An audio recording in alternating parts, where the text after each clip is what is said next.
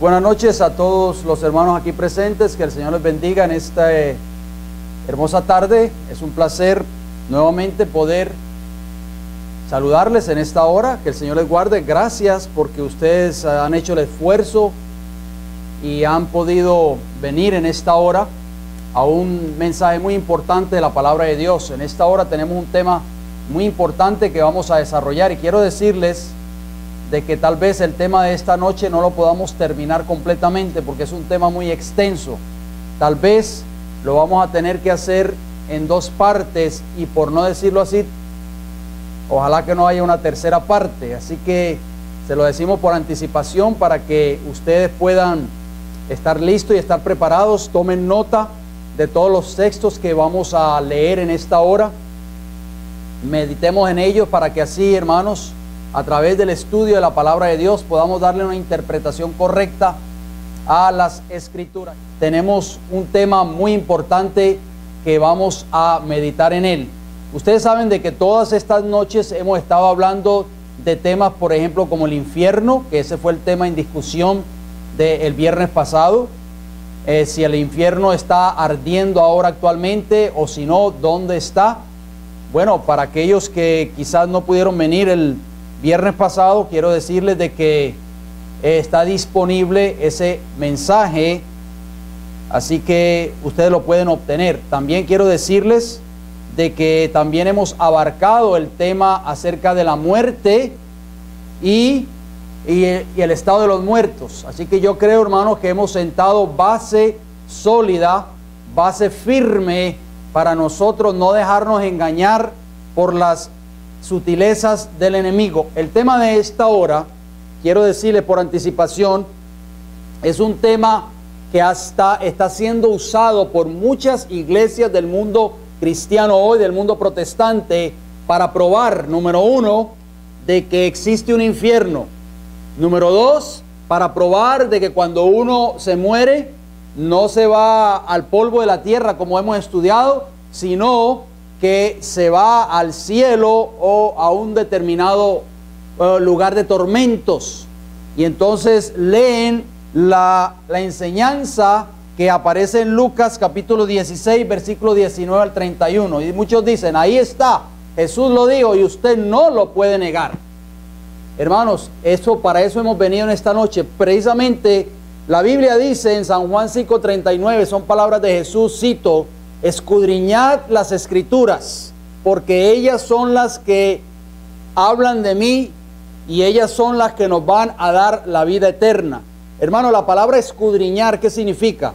La palabra escudriñar significa estudiar, significa escarbar, significa profundizar. O sea, hermanos, nosotros no podemos conformarnos con una simple lectura superficial de la Biblia.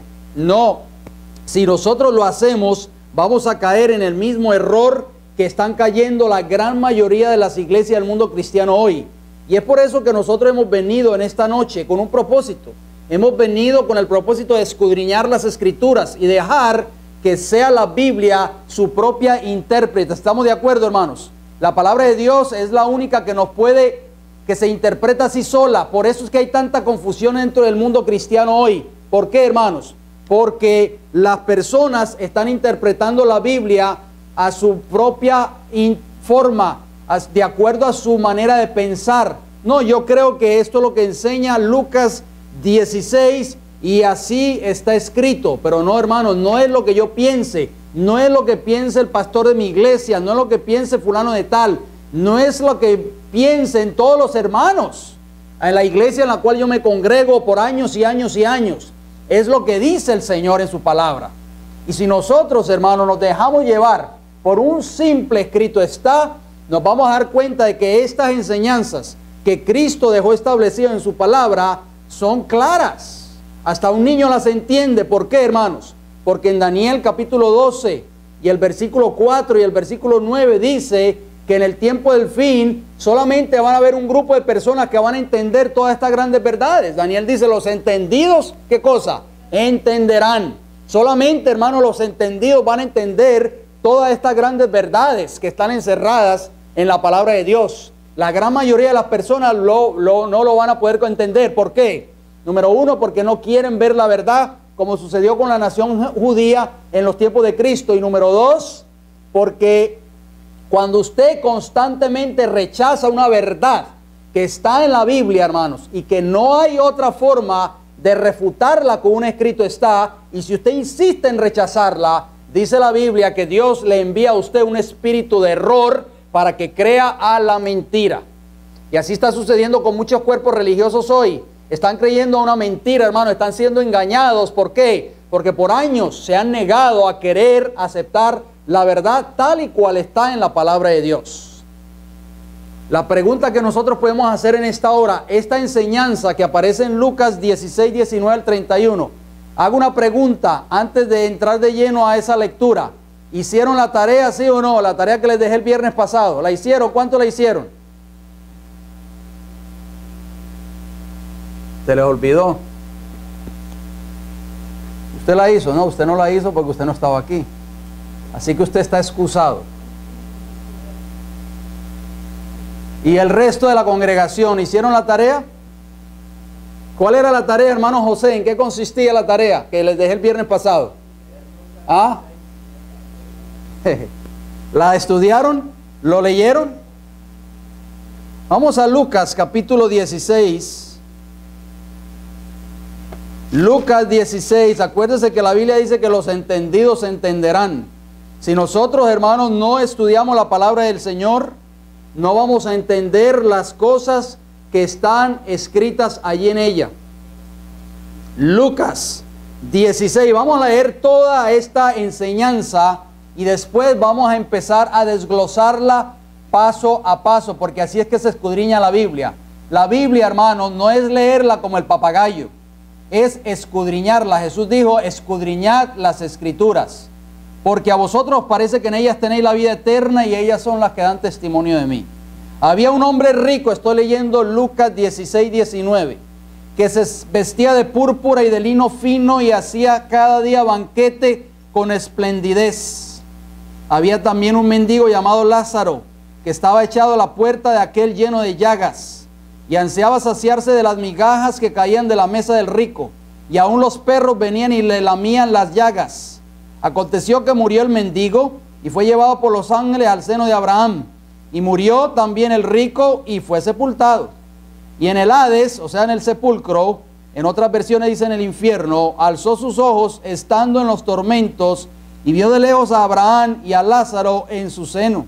Entonces él, Dando voces dijo, Padre Abraham, ten misericordia de mí, y envía a Lázaro para que moje la punta de su dedo en agua y refresque mi lengua porque estoy atormentado en esta llama. El infierno, dicen mucho, ahí está. Pero Abraham le dijo, hijo, acuérdate que recibiste tus bienes en tu vida y Lázaro también males, pero ahora este es consolado aquí y tú atormentado. Además de esto, de todo esto, una gran cima está puesta entre nosotros y vosotros, de manera que los que quisieren pasar de aquí a vosotros no pueden, ni de allá pasar acá. Entonces le dijo, te ruego pues, Padre, que le envíes a la casa de mi Padre, porque tengo cinco hermanos para que les testifique, a fin de que no vengan ellos también a este lugar de tormento. Versículo 29. Y Abraham le dijo a Moisés y a los profetas tienen, óiganlos. Él entonces dijo, no, Padre Abraham, pero si alguno fuere a ellos de entre los muertos, se arrepentirán y termina la parábola o la enseñanza diciendo, mas Abraham le dijo, si no oyen a Moisés y a los profetas, tampoco se persuadirán aunque alguno se levante o se levantare de los muertos. Les hago una pregunta una vez más. ¿Esto es una parábola o es una enseñanza real? ¿Qué ustedes creen? A ver, quiero oír la opinión de, de algunos de ustedes. ¿Esto es parábola o es una enseñanza real o literal? Parábola. ¿Es parábola o es enseñanza real, hermanos? ¿Mm? Tenemos que estar conscientes, porque si no estamos seguros de lo que Cristo habló ahí en esos versículos que acabamos de leer, fácilmente nosotros podemos ser engañados y fácilmente podemos ser entrampados también. Porque hay muchas personas, hermanos, que no quieren ver la verdad de, por ejemplo, lo que hemos estado estudiando durante todas estas noches anteriores, la verdad del estado de los muertos. No quieren ver esa verdad, no quieren aceptarla. Hay muchas personas hoy del mundo religioso que no quieren ver la verdad de que no existe un infierno en estos momentos, ni, ni está ardiendo en determinado lugar, ni el diablo está allí a cargo de ello. No quieren ver esa verdad, ni tampoco quieren aceptarla. Por lo tanto, estas personas manejan bien todos estos textos que acabamos de leer, hermanos. Y si ustedes tienen la oportunidad algún día de hablar con alguna de estas personas en determinado lugar y encontrarse con alguno de ellos, fácilmente, hermanos, si nosotros no estamos bien preparados, si no estamos parados en tierra firme en cuanto a esta enseñanza, fácilmente vamos a ser, ¿qué cosa? Entrampados. Por eso vuelvo y hago la pregunta, ¿creen ustedes de que esto que acabamos de leer, que fue narrado por Jesús, ¿Es una parábola o una enseñanza real o literal?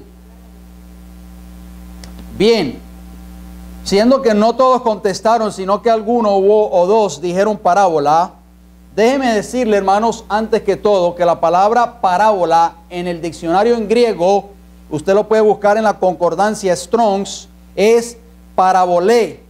Y parabolé significa similitud narración ficticia, algo simbólico de la vida común, conllevando una moraleja, refrán, figurado, comparar o parábola. Usted lo puede buscar en la concordancia Strongs, el número es 3850. ¿Qué quiso decir cuando Jesús enseñó estas cosas, hermanos? ¿Por qué narró esta historia así? y porque hay muchas personas confundidas hoy en este mundo cristiano en que vivimos. Muchas personas dicen, ¿para qué Cristo tuvo que narrar esta historia? Yo estoy confundido. Quiero creer lo que usted enseña, quiero creer que en la inmortalidad del alma, quiero creer de que los muertos nada saben, quiero creer que el muerto cuando muere va al polvo de la tierra y el espíritu que es otra cosa que el aliento de vida va a Dios que lo dio, pero me encuentro enredado en esta enseñanza y cada vez que me encuentro con un hermanito de otra denominación religiosa, me saca este estudio a colación y me confunde. Hermano, no, no, no tenemos que confundirnos, por eso hemos venido en esta noche. Aquí venimos con el propósito de estudiar, ¿verdad que sí, hermanos? De escudriñar la palabra de Dios y dejar que el Espíritu Santo sea el maestro de acuerdo a San Juan 14, 26. El maestro es el que nos va a enseñar todas estas cosas y nos vamos a, vamos a desenredar prácticamente esta, esta enseñanza, como muchos creen de que es un enredo, pero no es un enredo, es una enseñanza hermosa y lo vamos a ver a la luz de la palabra de Dios. Y como les digo, tal vez en esta noche no lo vamos a terminar, pero el próximo viernes, Dios mediante, si nos da la vida, vamos a continuar esta enseñanza o este estudio, así que usted no se lo puede perder. Vamos al libro de San Mateo, hermanos. Acompáñeme, por favor. Mateo, capítulo 13.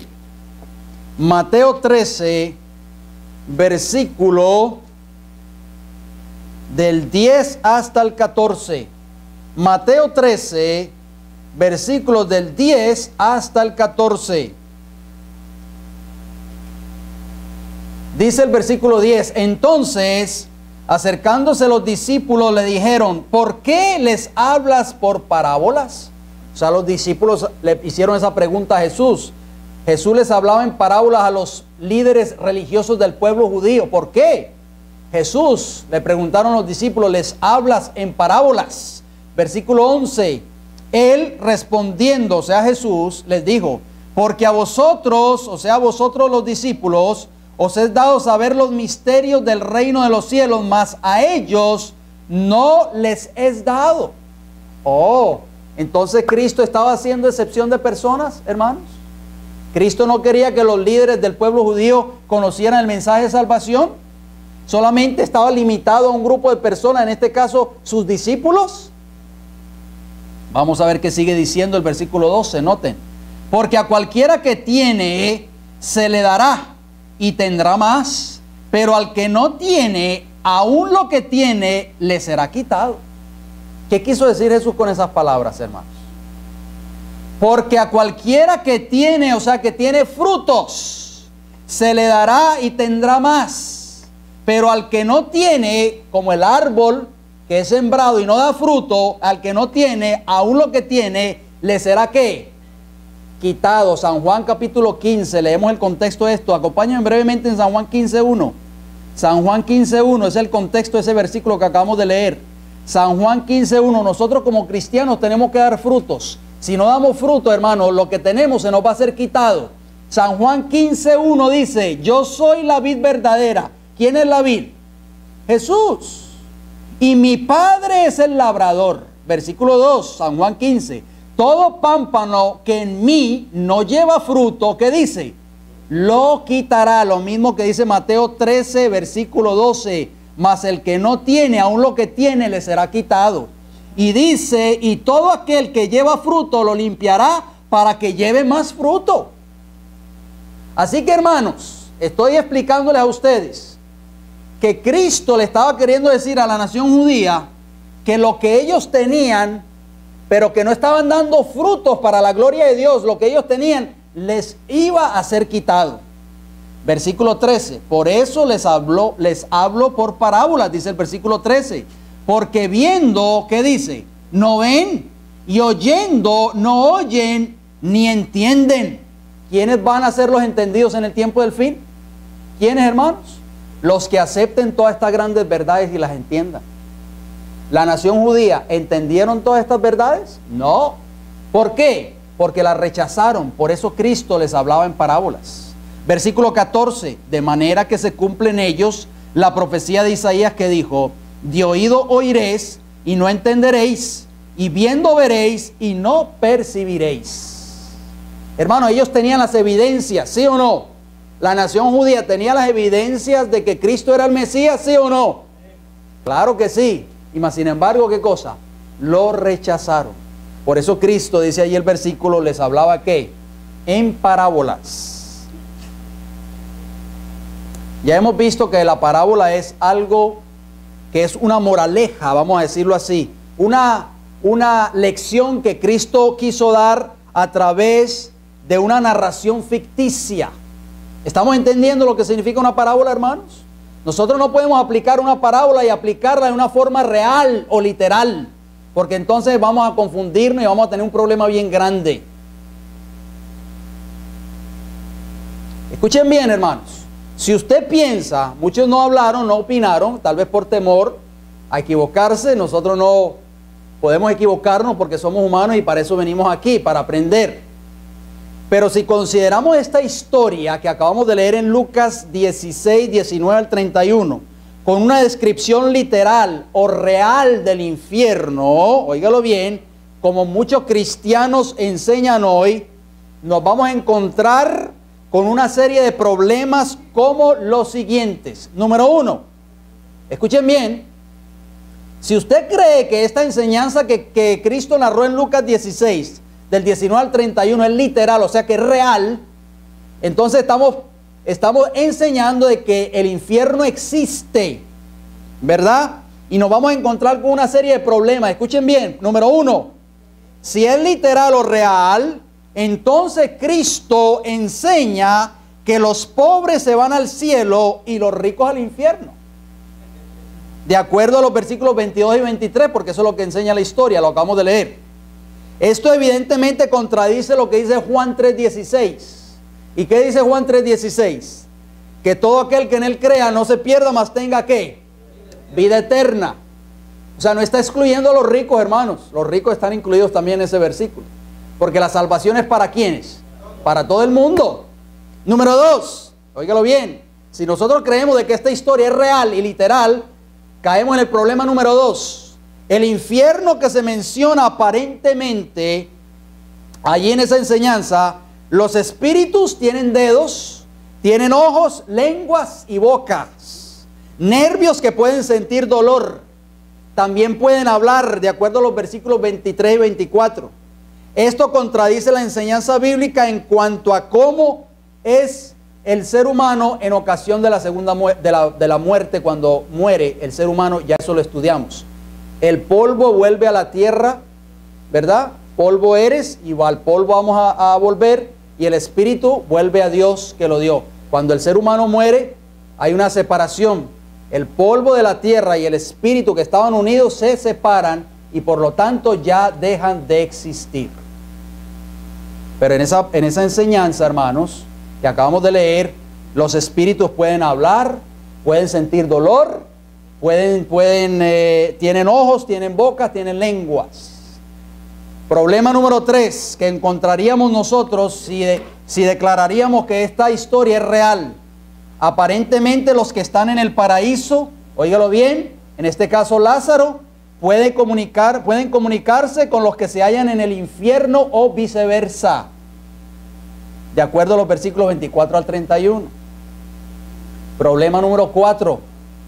Los que están en el infierno, y ya hemos visto de que el infierno no existe actualmente, eso es para el tiempo futuro, pero de acuerdo a esta enseñanza, los que están en el infierno pueden hablar con los que están en el cielo e implorar alivio y ayuda de acuerdo a los versículos 24 y 27.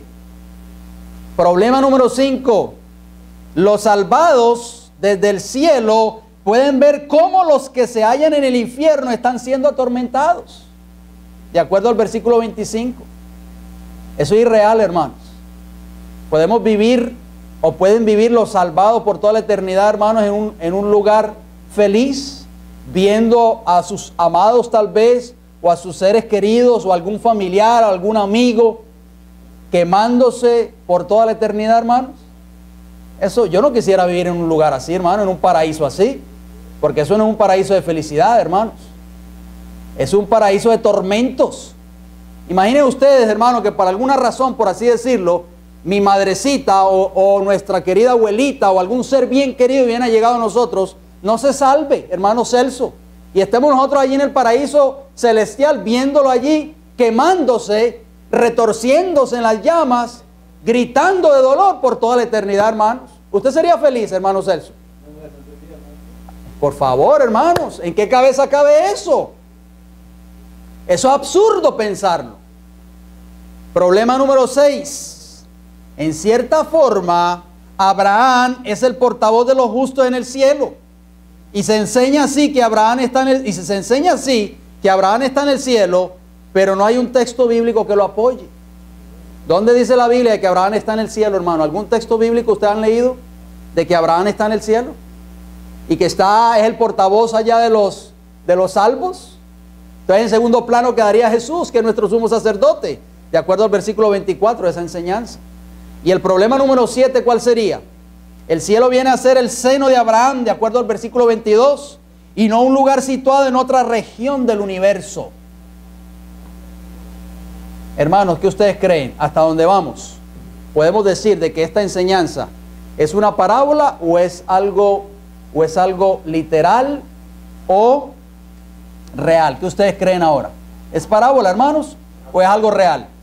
¿Ah? Es una parábola, obviamente. Y vamos a ver el contexto de esa parábola en esta hora. Y vamos a ir desglosando versículo por versículo qué quiso decir Jesús con esta enseñanza que se encuentra en Lucas 16, 19 al 31. ¿Están listos, hermanos?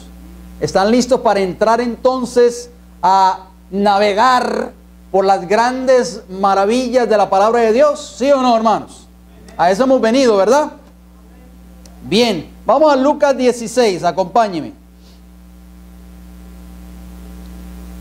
Lucas 16, el contexto de la parábola se encuentra, óigalo bien, dicen por ahí un refrán, un, un texto sin su contexto es un pretexto. Lucas 16, el versículo 1, primeramente, Lucas 16, 1, ahí se encuentra el contexto de esta parábola. Dijo también a sus discípulos, o sea Jesús, había un hombre rico que tenía un mayordomo y este fue acusado ante él como disipador de sus bienes. Hermanos, ¿de qué está hablando allí esa parábola que habla Jesús en el versículo 1? ¿Cuál es el tema central? De un hombre que? Un hombre rico. Vamos al versículo 19 de ese mismo capítulo. ¿Cómo empieza la parábola que estamos estudiando o escudriñando en esta hora? Lucas 19, 16, eh, versículo 19. Había un hombre que, rico, que se vestía de púrpura y de lino fino y hacía cada día banquete con esplendidez. ¿De qué están hablando esos dos versículos? De un hombre rico. ¿Por qué Cristo le dio énfasis a los hombres ricos en esta parábola que acabamos de leer en el versículo 1, la parábola del mayordomo infiel y la parábola del rico y Lázaro? Antes de entrar a esos detalles, déjeme decirle que la palabra rico en griego es plosios.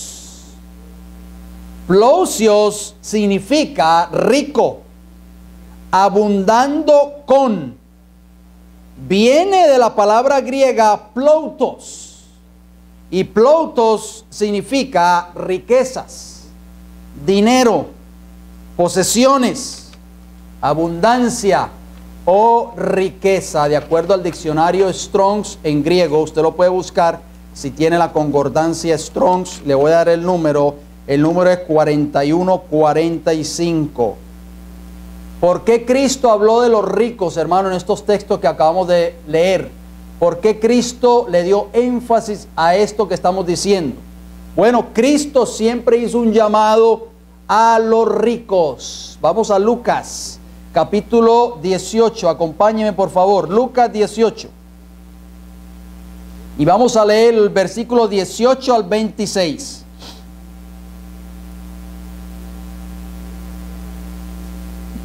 Para que ustedes se den cuenta a través de estos textos bíblicos de que Cristo constantemente a la nación judía le hizo un llamado a los ricos, hermanos. ¿Por qué?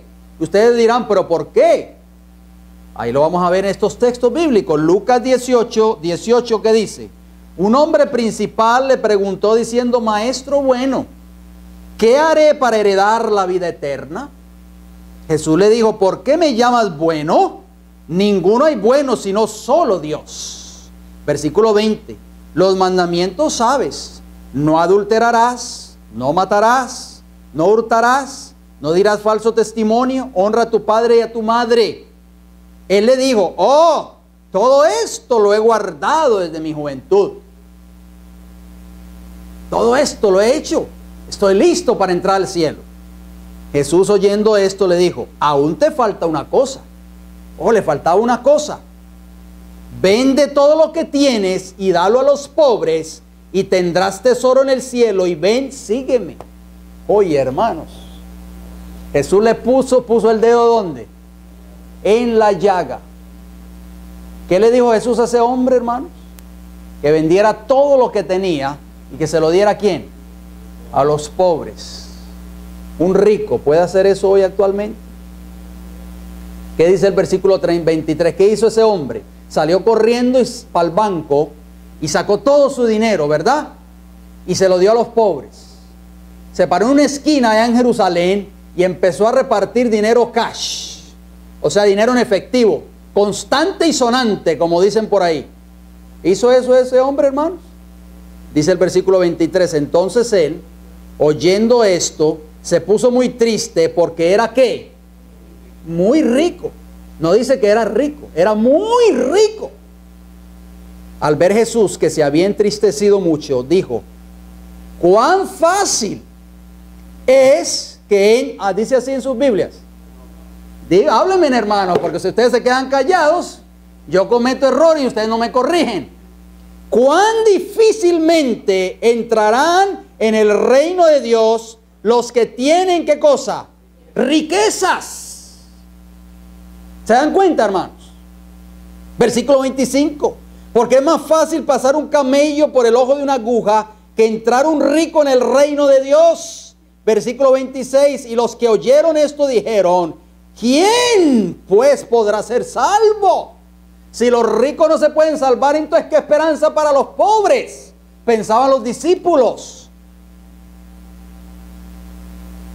¿Se dan cuenta, hermanos, cómo la religión judía o cómo los, la religión que habían levantado o montado los líderes religiosos del pueblo judío enseñaban en ese entonces que los ricos tenían más acceso, más facilidad de entrar al reino de los cielos que un pobre o que un enfermo o que un mendigo, y lo vamos a ver más adelante. Según ellos, hermanos, los ricos tenían el, lugar primordial de entrada en el reino de los cielos.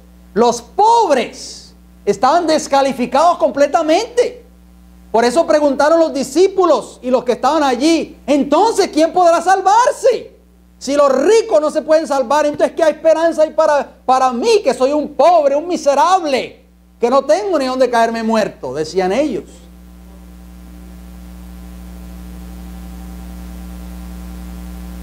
Las riquezas, ¿por qué Cristo habló de los ricos, hermanos? ¿Por qué? ¿Por qué habló de la parábola del rico y Lázaro? ¿Por qué? Porque las riquezas que ellos tenían, las tenían guardadas para ellos mismos. Como el joven rico. El joven rico quería tener todo para él mismo y no quería compartir con otros. Jesús le dijo, vende todo lo que tienes y dáselo a los pobres. Compártelo con los menos desafortunados que tú, con tu prójimo. ¿Y qué hizo el joven rico? Dice, no, esto me ha costado años de trabajo y esfuerzo. He trabajado 16 horas diarias por más de 40 años. Levantándome a las 3 de la mañana todos los días y llegando a las 10 de la noche a mi casa y a las 11 con sacrificio he logrado esta riqueza. Ahora se lo voy a dar a los pobres. No, no, jamás. Lucas capítulo 12, acompáñenme por favor. Estamos en el contexto, acuérdese, en el contexto de Lucas 16, 19. Lucas capítulo 12, versículo 16 al 21. Escuchen por favor cómo Jesús habló y le hizo un llamado a los ricos en ese entonces. Lucas 12, 16 también les refirió una parábola diciendo, la heredad de un hombre rico había producido mucho. ¿De qué está hablando allí, hermano? ¿De un hombre pobre? Rico. Versículo 17. Y él pensaba dentro de sí, diciendo, oh, ¿qué haré? porque no tengo dónde guardar mis frutos. Y dijo, esto haré, derribaré mis graneros y los edificaré mayores y allí guardaré todos mis frutos y mis bienes. Hermano, ¿estaba este hombre rico compartiendo sus, bienes y su riqueza, sí o no? Dígame por favor, ¿qué estaba haciendo? Guardándolos. No, voy a levantar unos depósitos más grandes un edificio el doble de grande del que tengo ahora. Y voy a guardar allí todas mis riquezas. ¿Y qué sigue diciendo, hermanos? ¿Están conmigo? Y diré a mi alma, el versículo 19 estoy leyendo ahora, alma, muchos bienes tienes guardados, ve que los tenían guardaditos, hermanos. Para muchos años, repósate, come, bebe y regocíjate. Pero Dios le dice en el versículo 20, necio, esta noche vienen a pedirte tu alma y lo que has provisto, lo que has guardado, lo que no compartiste con tu prójimo, ¿de quién será? Versículo 21, ¿cómo termina? Así es el que hace para sí tesoro y no es rico para con Dios. ¿Se da cuenta, hermano? Otra enseñanza más de Cristo la riqueza, los líderes de la nación judía tenían esas riquezas, ¿qué cosa? Guardaditas. Y no querían compartirlas con otros, con su prójimo. Vamos a Lucas 16, 11. Acompáñeme en Lucas 16, 11. 11 al 14. Lucas 16, 11. ¿Están conmigo? ¿Por qué Cristo narró la parábola del rico y Lázaro? ¿Por qué? Vamos a seguir leyendo y dejemos que solo la Biblia sea su propia intérprete. Y no, hermanos, no seamos nosotros. Lucas 16, 11 dice, pues si en las riquezas injustas no fuisteis fieles, o sea, en las riquezas que Dios nos da en esta tierra, ¿quién os confiará lo verdadero, o sea, las riquezas celestiales? Si nosotros no somos fieles aquí en esta tierra con lo que Dios nos da, si somos infieles mayordomos, ¿Cómo poder ser, pretender ser fieles mayordomos con las riquezas celestiales? Imposible. Versículo 12. Y si en lo ajeno no fuisteis fieles, ¿quién os dará lo que es vuestro? Versículo 13. Ningún siervo puede servir a dos señores, porque o aborrecerá al uno y, amará al otro, o estimará al uno y menospreciará al otro. No podéis servir a Dios y a qué? Y a las riquezas. Versículo 14, noten lo que dice el 14. ¿A quién le estaba dirigiendo Cristo ese mensaje? 14, y oían también todas estas cosas, ¿quiénes? Los fariseos que eran qué? Avaros y se burlaban de él. Oh, mis hermanos, ya claramente la Biblia nos está mostrando, estamos poniendo las fichas en el rompecabezas, ¿verdad? Poco a poco, y nos está diciendo, hermanos, que Cristo, el llamado que Cristo le, estaba haciendo constantemente a través de todas estas parábolas, era a los líderes de la nación judía porque eran avaros. ¿Y que es una persona avara? Una persona que le gusta el dinero, amante de las riquezas, que todo se lo guarda y que nada comparte con los demás. ¿Se da cuenta, mis hermanos? Cristo claramente lo dice el versículo 13, la última parte. No podéis servir a Dios y a las riquezas. No quiere decir con esto que los ricos no tienen derecho a la vida eterna, claro que sí. Pero los ricos que estamos nosotros estudiando en esta noche eran avaros. Eran ricos que no querían servir a su prójimo. Tenían sus riquezas guardaditas para ellos, como leímos en la parábola de, del capítulo 12, del 16 hasta el 21. Derribaré mis graneros y haré graneros más grandes para guardar todas mis riquezas, todo mi dinero y viviré por muchos años gozándome del, del, del, interés que produzca mi dinero allí en el banco, ¿verdad? Pero nada para qué? Para ayudar al prójimo. Escuchen bien, hermano, vamos a estudiar unos cuantos textos. Los judíos tenían sus corazones puestos en qué? En la riqueza de esta tierra. Vamos a San Mateo capítulo 16, Mateo 6, y podemos darnos cuenta que Cristo constantemente hace un llamado, y no solamente para la nación judía, mis hermanos, sino también para nosotros en esta noche. Si nosotros somos apegados a las cosas materiales, óigalo bien, si somos apegados a las riquezas, si somos apegados al dinero, Cristo no nos va a poder usar a nosotros para la obra en su reino. No, mis hermanos. Porque Cristo no puede usar avaros. Cristo no va a usar a personas que aman las riquezas y que no están dispuestas a compartir esa riqueza con su prójimo que está en necesidad. Mateo capítulo 6, versículo 19, que dice, no os hagáis tesoros en la tierra, dijo Jesús, donde la polilla y el orín corrompen y donde ladrones minan y hurtan. No. Versículo 20. Sino aseos donde. Tesoros donde, hermano. En el cielo. Donde ni la polilla ni el orín corrompen. Y donde ladrones no minan ni hurtan. Porque donde está vuestro tesoro, allí estará también, ¿qué cosa? Vuestro corazón. Pregunta, ¿somos nosotros apegados a las riquezas de esta tierra? ¿Somos apegados a las cosas materiales, hermanos? Cristo dice que no nos hagamos tesoro en esta tierra, sino donde? Tesoro en el cielo. Vamos a otro ejemplo, Mateo 19, acompáñenme. Lo leímos breve en Lucas, brevemente en Lucas, pero me gusta también la historia que se encuentra registrada en San Mateo, Mateo 19, versículo 20.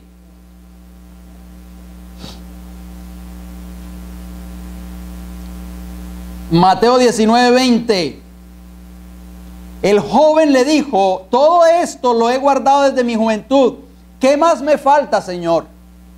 Jesús le dijo, si quieres ser perfecto, anda, vende lo que tienes y dalo a los pobres y tendrás tesoro en el cielo y ven y sígueme. Versículo 22, oyendo el joven esta palabra, se fue triste porque tenía muchas posesiones. ¿Qué hizo ese joven, hermanos? ¿Aceptó el consejo de Jesús? ¿Aceptó el mensaje de la palabra de Dios? No. se fue qué? Triste. ¿Por qué? Porque tenía muchas posesiones materiales. Vamos a Lucas 11. Acompáñeme en Lucas 11, no sé si ya lo leímos. Creo que no. Lucas 11. Lucas 11, versículo 39 al 41. Los judíos tenían sus corazones puestos en la riqueza, especialmente los líderes de la nación judía. Lucas 11, 39. ¿Qué dice? Pero el Señor le dijo, ahora bien, vosotros los fariseos limpiáis lo de afuera del vaso y del plato, pero por dentro estáis llenos de rapacidad y de maldad. ¿Se da cuenta, hermano, que Cristo constantemente el llamado y la reprensión era hacia los líderes de la nación judía? Versículo 40 de Lucas capítulo 11. Necios, el que hizo lo de afuera, ¿no hizo también lo de adentro?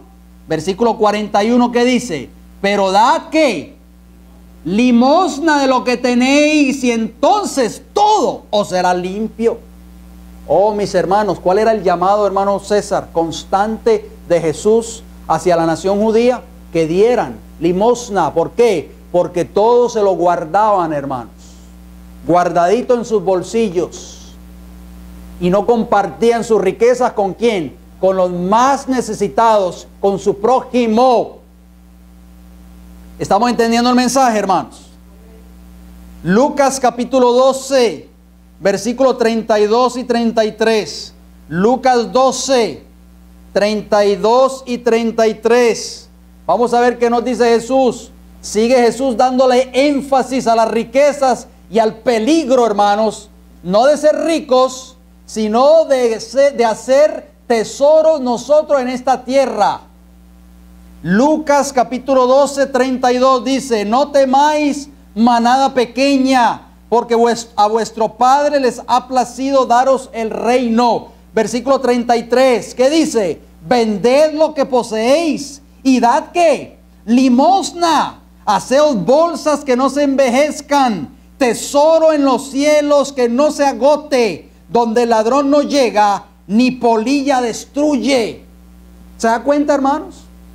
Cristo sigue dándole énfasis. Dice, vended lo que poseéis. Eso era el carácter de la iglesia neotestamentaria, los primeros discípulos, hermanos. Dice que vendían todas sus propiedades y lo traían a dónde? A los pies de los discípulos. Por eso es que Cristo bendijo esa iglesia poderosamente. Hoy las iglesias del mundo moderno solo piensan en la ganancia monetaria, en el dinero, en los diezmos, en la bolsa, en el plato de ofrenda. Páselo una, dos, tres, cuatro, cinco veces, no importa. Y por eso todos estos grandes ministerios, hermanos, están, están subiendo como la espuma, pero es a qué? A costillas, por así decirlo, del bolsillo de los miembros que piden y piden y piden y piden y hay que dar más y más y más. Y lo único que dicen es, entre tú más das, más bendiciones recibes. Eso es un engaño, mis hermanos, para sacarle la plata a la gente. Hermano, entonces ¿dónde queda la ofrenda de la viuda? Que dio lo único que tenía dos blanquitas, dos moneditas de dos centavos. Y dice Jesús, esta mujer dio más que todos. Los líderes que venían y dejaban caer las monedas en el templo para que se escucharan. Dejaban caer las bolsas llenas de monedas y las, las dejaban caer dentro del arca de las ofrendas. Para que la gente los viera y dijeran, este hombre sí que ofrenda. Este hombre sí es piadoso, sí ayuda a la causa del Señor. Pero dijo Jesús, ellos dan de lo que les sobra. Pero esta mujer dio de todo lo que tenía, mis hermanos.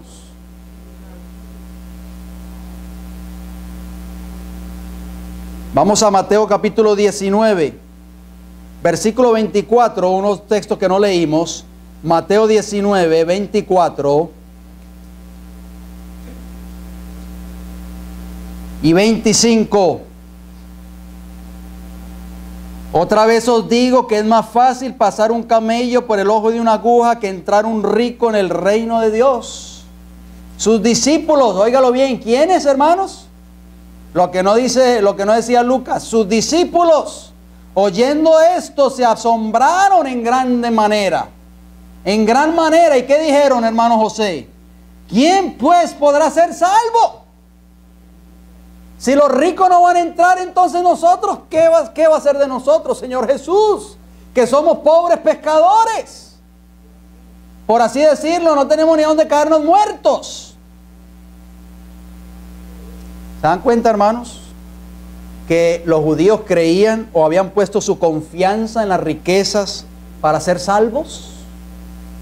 ¿Están entendiendo, hermanos, el mensaje del Señor en esta noche? Y esa era la religión que habían montado los líderes religiosos de la nación judía. Por eso es que el pueblo pobre, los enfermos, los discípulos, los mendigos y toda esa gente vivían una religión triste. ¿Por qué? Porque se sentían excluidos de las riquezas celestiales. Se sentían excluidos de la verdad del Evangelio se sentían excluidos de la salvación de sus almas. ¿Por qué? Porque eso era lo que le enseñaban sus respectivos líderes. Y esa es la tragedia, hermanos, de la nación judía y va a ser la tragedia del mundo religioso y de la gran mayoría de las iglesias modernas del mundo hoy. La nación judía se perdieron por causa de sus líderes. Y la gran mayoría de los profesos cristianos en el tiempo del fin se van a perder también por causa de sus pastores o sus ministros. ¿Por qué? Porque todo lo que ellos hacen lo hacen única y exclusivamente con el consentimiento de sus ministros. Pero no aún así, dice Jehová. ¿Quién podrá ser salvo? Dijeron los discípulos. Esa enseñanza la tenían ellos ya taladrada en sus mentes. Y eso era lo que ellos creían, hermanos porque eso era lo que les habían enseñado sus respectivos líderes. ¿Se da cuenta, hermanos? Mateo capítulo 13. Mateo 13, la parábola del sembrador, el versículo 3, da otros versículos muy interesantes. Estamos en el contexto de que los judíos tenían sus corazones puestos en qué? En las riquezas. Mateo 13, 3.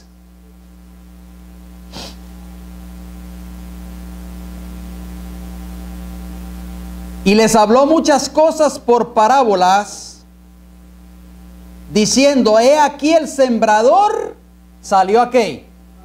A sembrar. Ustedes conocen esa parábola, la parábola del sembrador, no la vamos a leer toda en esta noche. Versículo 7, se la dejo de tarea.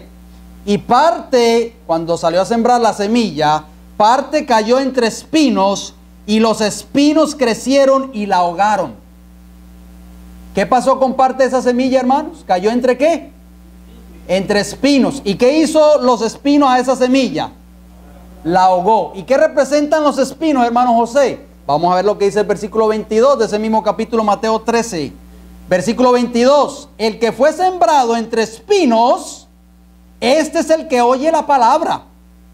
Pero el afán de este siglo, óigalo bien, el afán de esta vida y el engaño de las riquezas, ¿qué pasa?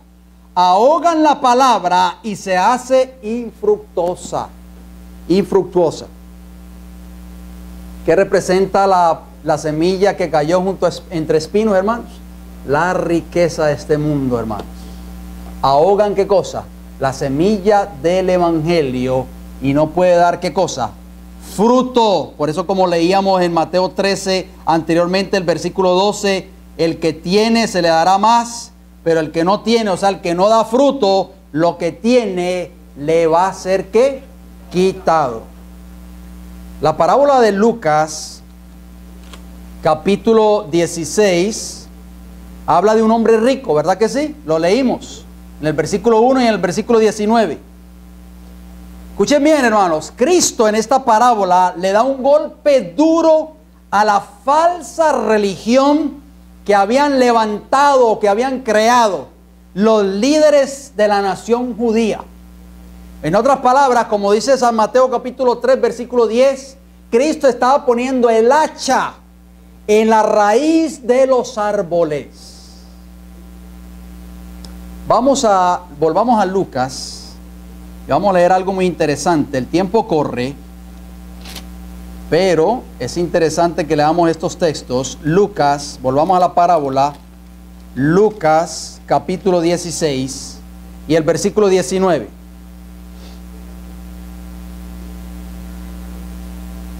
Está hablando de un hombre rico. Y ya vemos, hermanos, en pocas palabras, en pocos textos bíblicos, estamos ya poniendo la ficha de ese rompecabezas, ¿verdad? ¿A quién representa, creen ustedes entonces, que Cristo estaba refiriéndose hacia el hombre rico? ¿Quién estaba siendo representado ahí en esa parábola? ¿A quién? A los líderes de la nación judía, hermanos. Es el contexto de esta enseñanza, de esta parábola.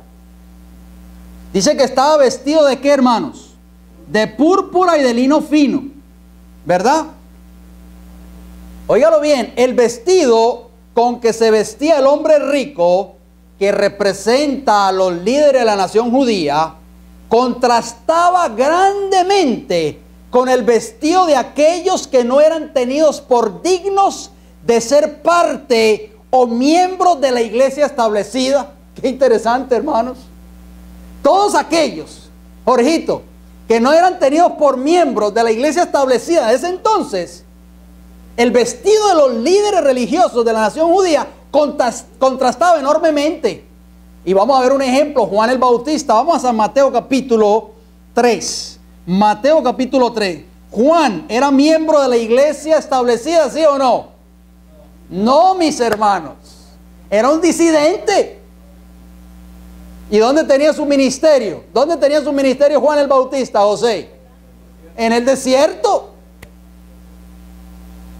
Juan capítulo 3, versículo 4, ¿qué nos dice? Digo Mateo, perdón, Mateo 3, rectifico, Mateo 3, 4. ¿Están conmigo?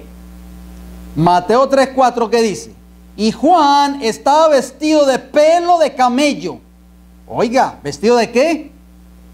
De pelo de camello y tenía un cinto de cuero alrededor de sus lomos y su comida era langostas y miel silvestre.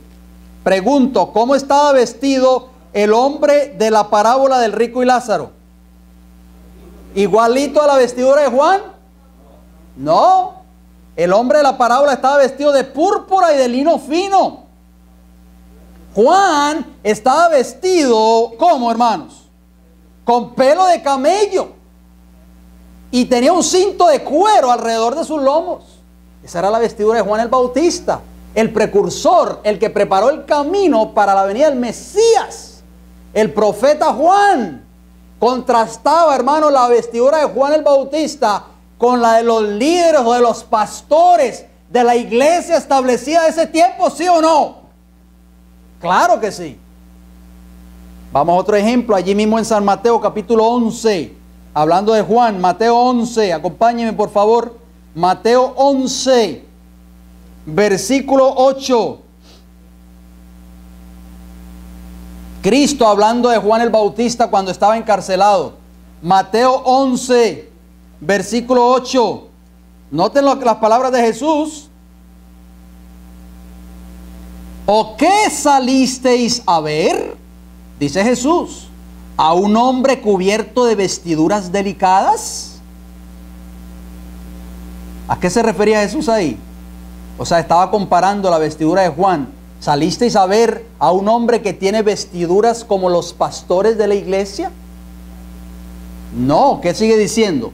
He aquí los que llevan vestiduras delicadas en las casas de los reyes están.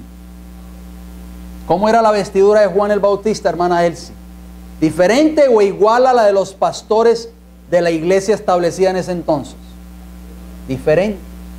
Había un gran contraste, ¿verdad que sí? Cristo habló también de las vestiduras. Vamos a Marcos capítulo 12. Acompáñeme, Marcos 12. Marcos capítulo 12, versículo 38 al 40. Marcos 12, 38. Vamos a ver cómo se vestían los líderes de la nación judía, hermanos. Porque dice la parábola que había un hombre rico, ya vimos que el hombre rico representaba a los líderes de la nación judía, que se vestía de púrpura y de lino fino. Marcos capítulo 12, 38 que dice, y les decía en su doctrina, guardaos de quién? De los escribas, o sea, de los líderes, de los ministros que gustan de andar con ropas largas o con largas ropas y aman las salutaciones en las plazas. ¿Cómo vestían ellos, hermanos? Con ropas ostentosas, largas, llamaban la atención de la gente y de los mendigos y de los pobres mucho más. Y les gustaba que los saludaran en las esquinas. Pastor, pastor, Dios te bendiga, pastor. Les gustaba que les dijeran pastor ministro, su excelencia. ¿Qué sigue diciendo, hermanos? Versículo 39. Y las primeras sillas en las sinagogas y los primeros asientos en las cenas que devoran las casas de las viudas, ¿qué hacían? Eran los primeros en llegar al culto todos los sábados. Se sentaban en la primera banca, hermano Celso, para llamar la atención de la gente. Pero ¿qué hacían? devoraban las casas de las viudas y por pretexto hacen largas oraciones. Estos recibirán mayor condenación. Estamos viendo, hermanos, el contraste de la ropa de los líderes de la nación judía. Por eso Cristo dijo, he aquí un hombre rico que se vestía de púrpura y de lino fino. ¿Qué significa la púrpura y el lino fino? ¿Qué representa eso? Vamos al libro de Esther, acompáñame el libro de Esther. Esther está después de Nehemías, antes del libro de Job, se encuentra el libro de Esther. Esther, el capítulo 8. Y vamos a leer el versículo 15 solamente.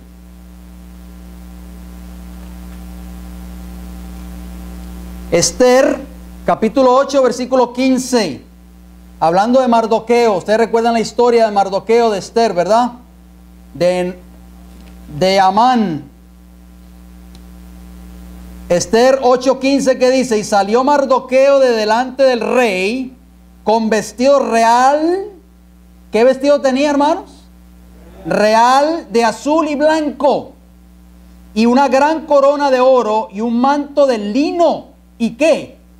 Y púrpura la misma vestidura del, rico de la parábola, hermano Celso. La ciudad de Susa entonces se alegró y se regocijó. Entonces, ¿quién eran los que se vestían, hermanos, de púrpura y de lino fino? Las personas que, que tenían una posición bien alta, símbolo de qué? De la realeza. Por eso la nación judía, los líderes de la nación judía, se creían de que estaban en una posición mucho más ventajosa y más alta que los pobres, que los mendigos, que los parias de la sociedad. ¿Cuántos ministros hoy, hermanos, de las iglesias del mundo cristiano se creen de que porque son ministros populares y famosos de que todo el mundo los escucha, de que son famosos internacionalmente hablando, se creen más que los demás.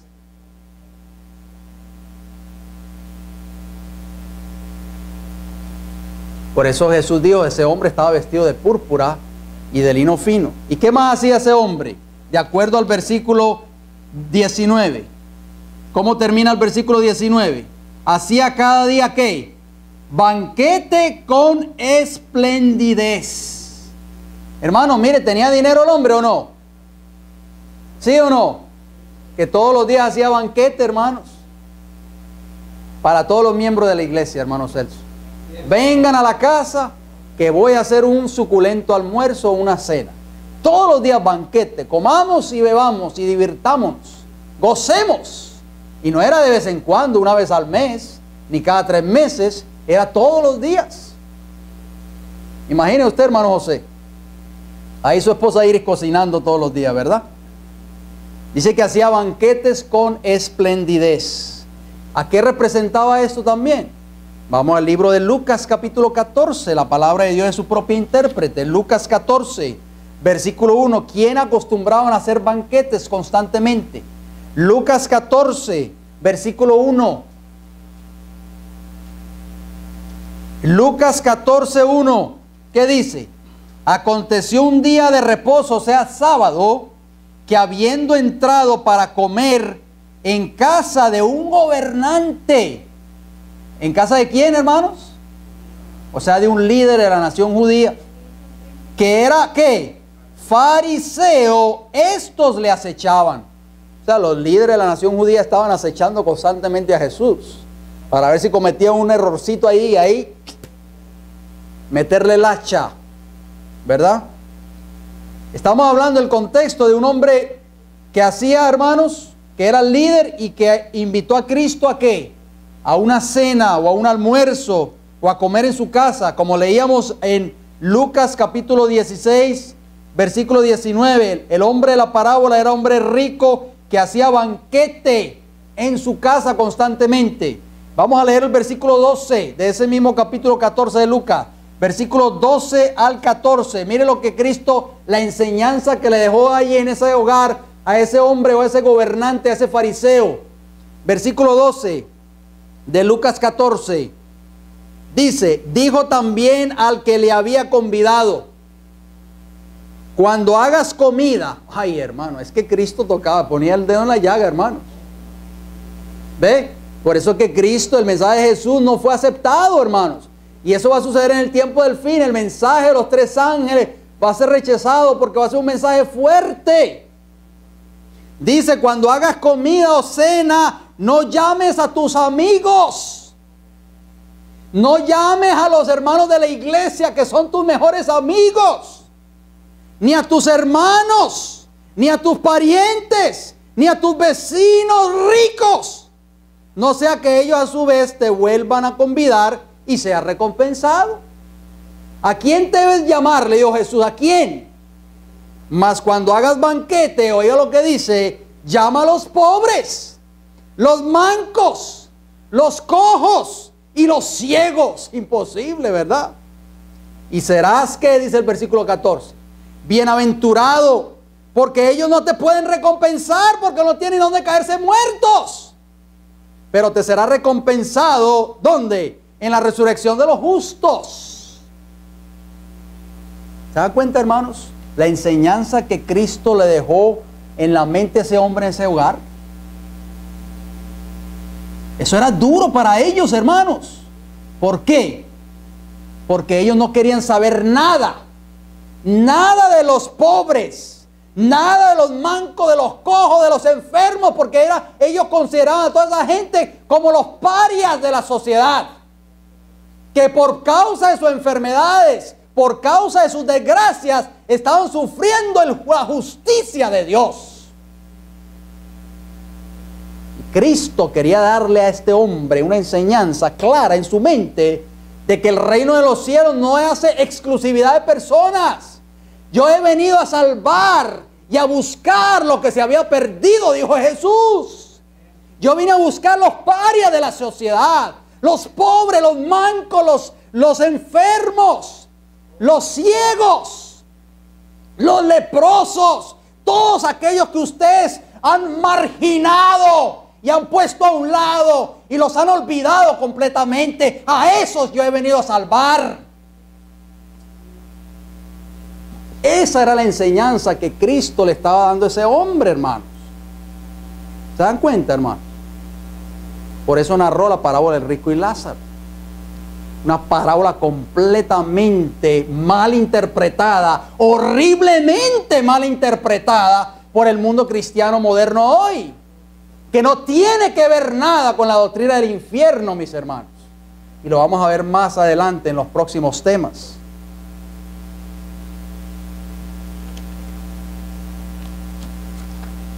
Vamos a ir concluyendo, hermano, en los minutos que nos quedan. ¿Qué dice el versículo 20? Vamos a leer el versículo 20 y con esto vamos a ir terminando. Lucas 16, 20. Al paso que vamos, yo creo que vamos a tener que grabar una serie completa, hermano José. Lucas 16, 20. ¿Qué dice? había también un mendigo llamado como Lázaro, que estaba echado a la puerta de aquel, lleno de qué? Dos cosas dice ese versículo 20, por favor hermanos, pensemos bien. Ese hombre era un mendigo, o sea, tenía que pedir limosna, porque era un hombre pobre. Si usted pide limosna, quiere decir que no tiene dinero ni para comer. Como las personas que vemos a veces en las esquinas con un rotulito en la mano, hermano, pidiendo dinero. Porque son personas desamparadas, no tienen hogar ni donde vivir. ¿Verdad? Ustedes lo han visto en estas grandes ciudades donde nosotros residimos. Y número dos, dice que estaba lleno de llagas. Eso indica, hermano, que tenía una enfermedad horrible. ¿Quién sabe? No especifica la Biblia si era lepra. Puede ser otro tipo de enfermedad, llagas, hermanos. Ese hombre se estaba muriendo, en otras palabras. Estaba, era mendigo, número uno. Y número dos, era qué? Enfermo. Estaba padeciendo de una enfermedad grave. Escuchen bien, hermanos. ¿Quiénes eran los mendigos o los que mendigaban? ¿Quiénes? Estos eran vistos por los líderes de la nación judía como los parias de la sociedad y por lo tanto, según los líderes, estaban ellos excluidos de las promesas de Dios, del reino de los cielos y sin esperanza de vida eterna. Ese tipo de religión era la que habían levantado los líderes de la nación judía y Cristo se disponía a derrumbarla. Gloria a Dios. Con ese propósito Cristo vino a esta tierra también. También todos aquellos que tenían alguna enfermedad se contaban entre los descalificados para el reino de los cielos. ¿Sabían ustedes eso, hermanos? Lo dice la Biblia. Vamos a Marcos brevemente. Marcos Acompañen por favor Marcos capítulo 1. Marcos capítulo 1. ¿Con qué propósito vino Jesús a esta tierra, hermanos? ¿Hacer excepción de personas? Marcos 1, versículo 14 y 15.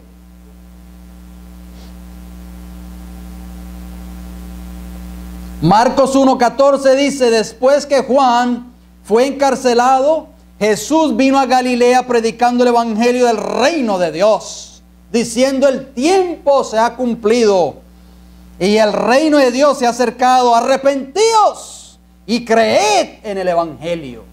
Hermanos, el llamado de Jesús a través de estos versículos 14 y 15 que acabamos de leer es el llamado del el arrepentimiento. ¿A través de qué? A través del Evangelio. O sea, una invitación de salvación para quién? Para los ricos solamente. Para todos, hermanos. Para todas las personas de la sociedad. Lucas capítulo 13. Acompáñenme por favor. Lucas 13. ¿Están conmigo, hermanos? Lucas 13. Versículo 10. Ese hombre era, un mendigo, acuérdese, y estaba lleno de llagas, o sea que estaba enfermo, tenía una enfermedad mortal tal vez. Lucas 13:10 enseñaba a Jesús en una sinagoga en el día de reposo, o sea, en sábado. Y había allí una mujer que desde hacía 18 años tenía espíritu de enfermedad y andaba encorvada y en ninguna manera se podía enderezar. ¿Qué tenía esa mujer, hermano Jorgito? Tenía, tenía un espíritu de qué? De enfermedad. No se, podía, no se podía enderezar, hermanos. Dice ahí el versículo claramente. Encorvada estaba. Versículo 12. Noten lo que dice el 12. Cuando Jesús la vio, la llamó y le dijo, mujer, eres libre de tu enfermedad. Versículo 13. Y puso las manos sobre ella y ella se enderezó luego y glorificaba a Dios. Oh, mis hermanos, qué milagro. En sábado Jesús hizo ese, ese milagro, en sábado. ¿Y qué dice el versículo 14? Pero el principal de la sinagoga saltó y dijo, gloria a Dios. Qué bueno que esta mujer fue sanada. Un milagro en la iglesia. Nunca había ocurrido esto. Dice así, hermano, en sus Biblias. ¿Qué dice? Enojado de que Jesús hubiese sanado en el día de sábado, dijo a la gente, seis días hay que se debe trabajar. En estos pues venid y sed sanados. Y no en sábado. Oiga hermanos, este líder de la sinagoga no le interesó de que esta mujer fuese sanada. Prefirió mejor que viniera otro día y no en sábado. Según él, el sábado había sido violado. ¿Y qué le respondió Jesús? Entonces el Señor le respondió en el versículo 15 y le dijo, hipócrita, cada uno de vosotros no desata en el día de sábado su buey o su asno del pesebre y lo lleva a beber. Versículo 16. ¿Qué dice el versículo 16? Lo que no querían oír los líderes de la nación judía. Y a esta hija de Abraham, que Satanás había atado 18 años, ¿no se le debía desatar de esta ligadura en el día de sábado? Hermanos, al decirle estas cosas, se avergonzaban todos sus adversarios, pero todo el pueblo se regocijaba por todas las cosas gloriosas hechas por él. ¿Qué le dijo Jesús a esa mujer que estaba enferma, hermanos? Que esa mujer también era hija de quién? De Abraham. Nosotros somos descendientes de Abraham, le dijeron los líderes judíos a Jesús. Somos simiente de Abraham nosotros. No los, no los parias de la sociedad, no los, no los mendigos, no los pobres, no los enfermos. Y Jesús dijo, sí Señor, esa mujer que ustedes dicen que es, la, es paria de la sociedad y que la han excluido completamente de la salvación y de las promesas dadas a Abraham, ella también es hija de Abraham. Y por lo tanto tiene derecho también a las promesas que fueron dadas al profeta Abraham. ¿Te das cuenta, hermanos, a dónde había llegado la nación judía? El mendigo, por eso usó Cristo, usó a Lázaro como el mendigo enfermo. Vamos a San Juan 9.1. Brevemente, hermanos, San Juan capítulo 9, acompáñenme por favor. Miren bien, hermanos, cuál era la mentalidad de los discípulos. ¿Se dan cuenta que los discípulos tenían toda esta falsa enseñanza taladrada en su mente? Y esa es la tragedia del mundo cristiano hoy, hermanos que todas esas falsas enseñanzas las tienen taladradas allí y no las quieren entender a la luz de la palabra de Dios. San Juan capítulo 9, versículo 1, ¿qué dice? Al pasar Jesús vio a un hombre ciego de nacimiento. ¿Qué estaba, cómo era, ¿Cuál era la condición de ese hombre? Ciego. No podía ver, tenía una enfermedad, ceguera. ¿Verdad que sí, hermanos? ¿Qué dice el versículo 3, 2? Y le preguntaron sus discípulos, diciendo, rabí, ¿quién pecó? ¿Este o sus padres para que haya nacido ciego? Oye, hermanos, qué pregunta, ¿verdad? ¿Qué dice el versículo 3? Respondiendo Jesús, no es que pecó este ni sus padres, sino para que las obras de Dios se manifiesten en él. Versículo 8. Entonces los vecinos, cuando fue sanado el hombre, los vecinos y los que antes le habían visto que era ciego decían, ¿No es este el que se sentaba y mendigaba? ¿Qué hacía ese hombre, hermano? ¿A qué se dedicaba él? ¿A qué? A mendigar, lo mismo que aparece en la parábola del rico y Lázaro. ¿Qué hacía Lázaro? Se asentaba a la puerta de la casa del rico y mendigaba y estaba lleno de llagas. Este hombre, similar, este hombre era ciego, enfermedad, la ceguera y también qué? Mendigaba. Jesús lo sanó, mis hermanos. Hizo un milagro glorioso. ¿En qué día lo sanó? ¿En qué día, hermana Lourdes? En sábado, dice el versículo 14, leámoslo por favor, 9:14. Y era el día de sábado cuando Jesús había hecho el lodo y le había abierto los ojos. Los líderes brincaron de felicidad nuevamente. ¡Qué bueno! Otro milagro. No, mis hermanos. ¿Qué dijeron los líderes? Versículo 16. Entonces algunos de los fariseos decían, ese hombre no procede de Dios, porque no guarda el sábado. Otros decían, ¿cómo puede un hombre pecador hacer estas señales? Y había disensión entre ellos. ¿Se da cuenta, hermanos? Este hombre está violando el sábado.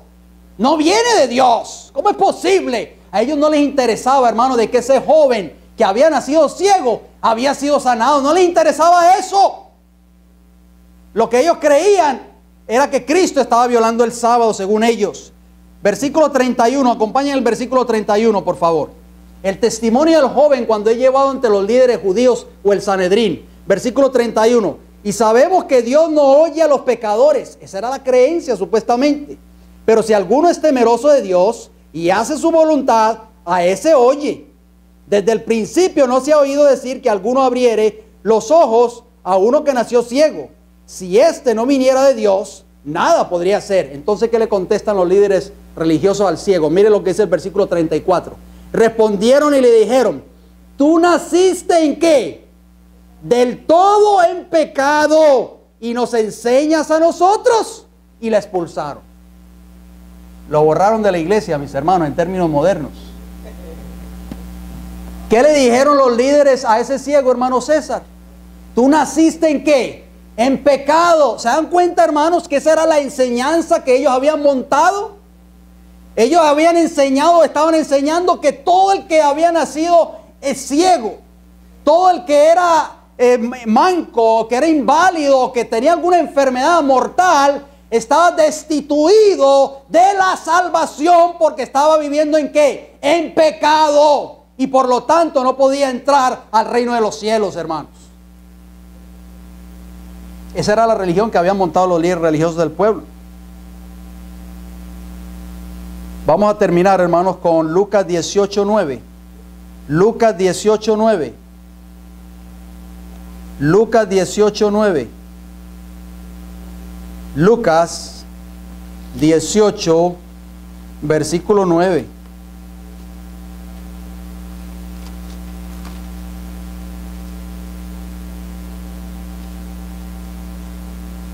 Dice, a unos que confiaban en sí mismos como justos y menospreciaban a los otros, dijo también esta parábola. Otra vez la parábola, ¿ve? Dos hombres subieron al templo a orar uno era fariseo y el otro publicano. ¿Cuál era la actitud del fariseo? ¿Cuál era la actitud de la nación judía hacia, los, hacia su prójimo? El fariseo puesto en pie oraba consigo mismo de esta manera. Dios, te doy gracias porque no soy como los otros hombres, ladrones, injustos, adúlteros, ni aún como este publicano. Ayuno dos veces a la semana y doy diezmo de todo lo que gano. En otras palabras, le estaba diciendo a ese, ese fariseo, a Dios, Señor, te doy gracias, porque no soy ciego, porque no soy inválido, porque no soy leproso, porque no soy pobre, porque no soy mendigo, porque toda esa gente están descalificadas del reino de Dios. Y tampoco te doy gracias, Señor, que no soy como este publicano, porque es un ladrón. Hermano, ¿qué sucedió? Mas el publicano estando lejos, dice el versículo 13, no quería ni alzar aún sus ojos al cielo, sino que se golpeaba el pecho diciendo, Dios, sé propicio de mí, que soy pecador. Versículo 14, os digo que éste descendió a su casa justificado, sea, el publicano, antes que el otro. Porque cualquiera que se enaltece será humillado y el que se humilla será enaltecido. Hermanos, ¿estamos viendo el contexto de esta enseñanza? ¿Estamos viendo el contexto de esta parábola? Estamos poniendo las primeras fichas del rompecabezas, ¿verdad? La próxima semana, Dios mediante, vamos a hablar de los siguientes versículos y lo vamos a seguir desglosando poco a poco y vamos a ver cuál es el contexto de ese mendigo que ansiaba, ansiaba, dice el versículo 21, saciarse con las migajas que caían de la mesa del rico. ¿Qué significa eso, hermano Celso? Eso lo vamos a ver la próxima semana, Dios mediante. Así que usted no se puede perder el mensaje de la próxima semana, la continuación de este estudio, la parábola del rico y Lázaro. Hermanos, que el Señor nos bendiga, que Dios nos ayude a entender la palabra de Dios tal y cual está escrita, no como me lo han enseñado a mí por años, por 20, 30, 40 50 años, no lo que diga el pastor de mi iglesia, sino lo que dice, así dice Jehová. Vamos a arrodillarnos, hermanos, para terminar con una oración.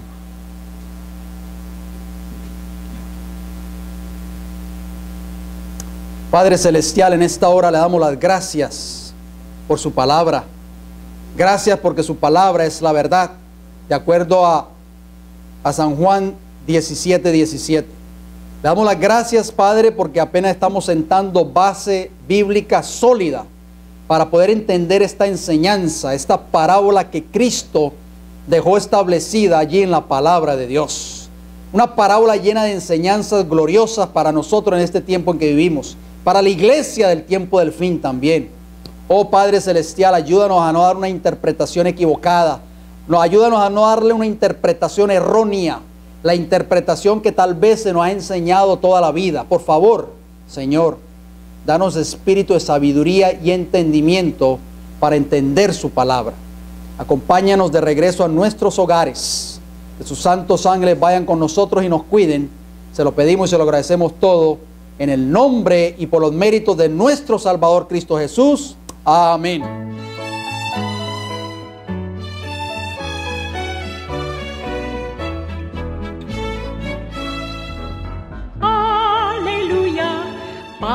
Al fin, ya llegamos al hogar. El cielo rebosa gozo y luz, el pecado quedó atrás. El eterno portal se abrió, los salvados ya entraron, sí cantan aleluya, paz al fin, ya llegamos al hogar. Ved los cojos ya corren y los mudos cantando están. No hay ciegos, no, pues todos ven. Reina vida inmortal, junto al gran trono está el supremo rey. Los redimidos con gratitud cantan aleluya, paz al fin, ya llegamos al hogar.